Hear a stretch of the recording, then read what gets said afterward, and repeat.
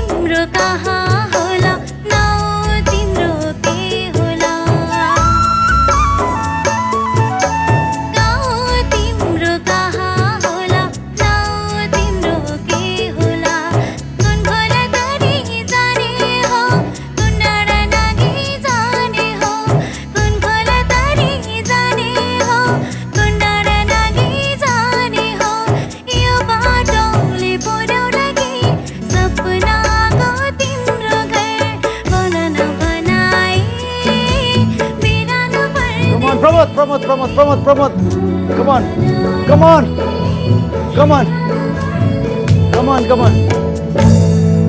Oh no.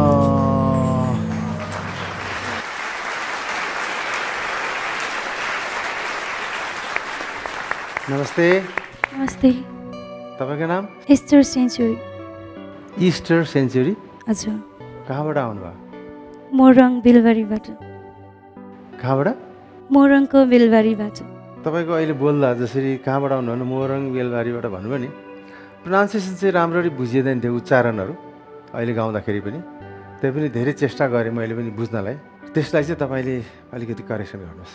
हस्। Thank you हस्। All the best मैले फिल गरिरहेको एउटा कुरा चाहिँ अघि कम्पिटेटिभ स्पिरिट भएन क्या म कम्पिट गर्छु भन्ने किसिमको एउटा स्पिरिट चाहिन्छ नि सिङ्गर्सहरूमा भोइस जस्तो ठाउँमा आएर केही गर्छु भन्ने स्पिरिट चाहिँ आएन क्या त्यो आएको भए चाहिँ एकदम रमाइलो हुन्थ्यो। आउँथ्यो के खोल्थ्यो दाइले सबैले बजाएको म नेक्स्ट टाइम कुनै पनि प्लेटफर्ममा जान्छु एकदम स्पिरिट बोकेर जान्छु म।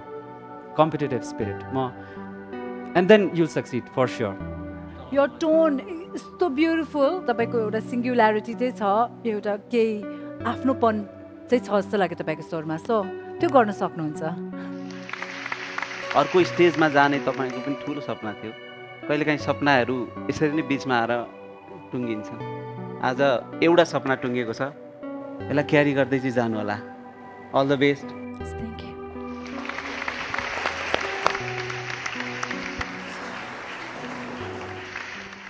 उसको त्यो एकदम मिठो स्वर के? तर उसले जस्तो तपाईँले भन्नुहुन्छ नि पुरा त्यो तिखार्नुपर्छ क्या स्वर?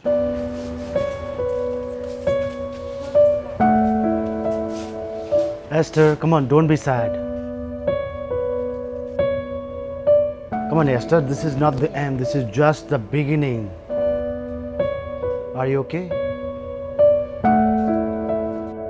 एउटा सपना टुटेको मात्रै हो यिनको साङ्गीतिक यात्रा कदापि टुट्ने छैन शुभकामना